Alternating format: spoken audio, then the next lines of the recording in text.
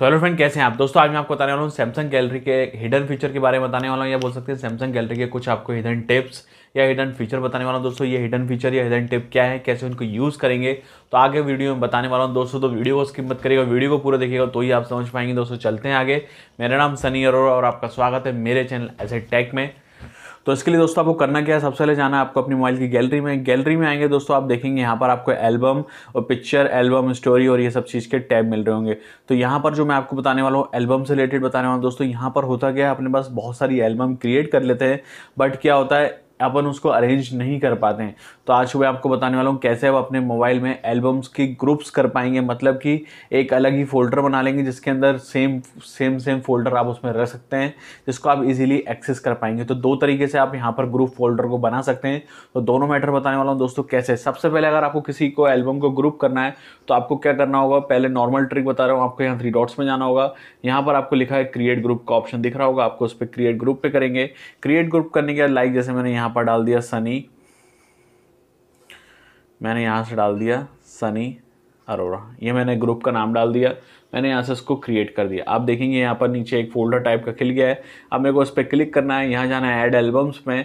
मतलब कि जो भी फोल्डर जो मेरे रिलेटेड नाम नाम से लेकर जैसे मेरी ये मेरी फ़ोटोज़ है, ये मेरी फ़ोटोज़ है और ये मेरी डाउनलोड वाली फ़ोटोज़ मैंने इसको यहाँ पर कर दिया ऐड जैसे ही मैंने ऐड करूँगा तो आप देखेंगे जो भी मैंने अभी सनी अरोरा नाम से यहाँ पर जो एक एल्बम बनाई थी, एक ग्रुप ग्रुप बनाया था, ग्रुप के अंदर ये सारे फोल्डर्स आ गए एक एक करके आप देख रहे होंगे, डाउनलोड, रिसीव्ड और ये सनी है, आ चुका है। तो एक तरीके से आप ग्रुप ऐसे कर सकते हैं। उसके बाद दूसरे तरीके भी बताऊँगा, पहले मैं आपको बता दूँ कि ग्रुप को अनग्रुप कैसे करें। मान लीजिए आपको इन एल्बम को वापस बाहर भेजना है तो आपको सिंपली क्या करना है इस पर क्लिक करके रखना है। क्लिक करने के बाद आपको नीचे ऑप्शन दिख रहा होगा, जिनको आपको बाहर करना है मूव पे जाना है। मूव पे जाने के बाद आपको यहाँ पर फोल्डर के एरो पे जाना है। एरो पे जाने के बाद आपको यहाँ पर सिंपली मूव हेयर कर देंगे तो ये बाहर आ जाएगा।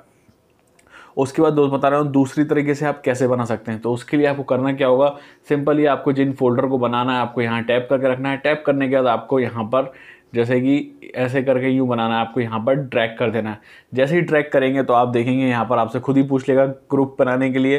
तो मैंने यहाँ पर डाल दिया माइक तो ये यहाँ पर आप देखेंगे एक और ग्रुप बन गया है माय नाम से, जो कि लेटेस्ट अभी बना होगा, आपको दिख रहा होगा। ये एक बन गया है। ये तो हो गया नॉर्मल से कि आपने ग्रुप क्रिएट कर लिया। अब मैं आपको बताने वाला हूँ कैसे ग्रुप के अंदर एक और ग्रुप क्रिएट करना मतलब कि ग्रुप के अंदर एक और ग्रुप बना के सब ग्रुप करना। कैसे? जैसे आप देख रहे होंगे, यहाँ पर ये दो दिख रहे हैं, मैंने ग्रुप के अंदर गया हूँ। आपको यहाँ पर क्या करना है, इसको यहाँ पर क्लिक करके रखना है। यहाँ पर इसको वापस से इसके अंदर डाल देंगे।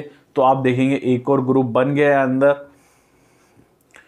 और अब ये एक और ग्रुप बन गया, देख रहे होंगे। जैसे यहाँ पर देख रहे हैं, मैं मैंने माई के अंदर एक और माए बनाया है। मैं माए में गया, फिर माए में गया तो आप देख रहे होंगे यहाँ पर ये ग्रुप के अंदर ग्रुप बन गए तो बहुत ही अच्छा मेरे को ये मेथड लगा कि आप चाहते हैं कि कुछ फ़ोटोज़ या कुछ एल्बम्स हैं, किसी को ना दिखें तो आप उसके अंदर ये कर सकते हैं। एल्बम के अंदर एल्बम सब एल्बम बना सकते हैं, ताकि कोई उसको ईजिली एक्सेस ना कर सके, या फिर बोल सकते हैं आप ईजिली उसको अरेंज भी कर सकते हैं। तो ये मेरे ख्याल से एक ज़्यादा खास तो हिडन फीचर नहीं था बट ये हिडन टिप्स है। लोगों को, कुछ लोगों को तो पता होगी और कुछ लोगों को नहीं भी पता होगी बट बहुत अच्छी ट्रिप लगी मुझे, बहुत अच्छा लगा ये। ये वाला जो फीचर या बोल सकते हैं, ये जो हिडन फीचर है, मुझे तो बहुत अच्छा लगा। उम्मीद है कि आपको ये मेरी वीडियो पसंद आई होगी। अगर दोस्तों आपको मेरी वीडियो पसंद आई तो प्लीज़ मुझे कमेंट करके ज़रूर बताएँ कि आपको ये मेरी वीडियो कैसी लगी। तो थैंक यू तो दोस्तों, मुझे उम्मीद है कि आपको ये मेरी वीडियो पसंद आई होगी। दोस्तों, अगर आपको मेरी वीडियो पसंद आई तो प्लीज़ लाइक ज़रूर करें। अगर आपको लगता है दोस्तों, मेरी वीडियो कुछ कमी नहीं डिसलाइक भी कर सकते हैं दोस्तों। और अगर आप मुझसे कुछ पूछना चाहते हैं इस वीडियो से रिलेटेड या कुछ भी, आप मुझसे डायरेक्टली कमेंट करके पूछ सकते हैं दोस्तों। और हो सके तो आप मेरी वीडियो को शेयर करना ना बोले और दोस्तों, अगर अभी तक आपने मेरे चैनल सब्सक्राइब नहीं किया है दोस्तों प्लीज़ मेरे चैनल सब्सक्राइब करना ना बोले ताकि मेरे चैनल की नेक्स्ट वीडियो की अपडेट आपको सबसे पहले मिले दोस्तों। और हो सके तो मुझे इंस्टाग्राम और फेसबुक फॉलो करना भी ना बोले इसका लिंक आपको नीचे डिस्क्रिप्शन में मिल जाएगा। तो थैंक यू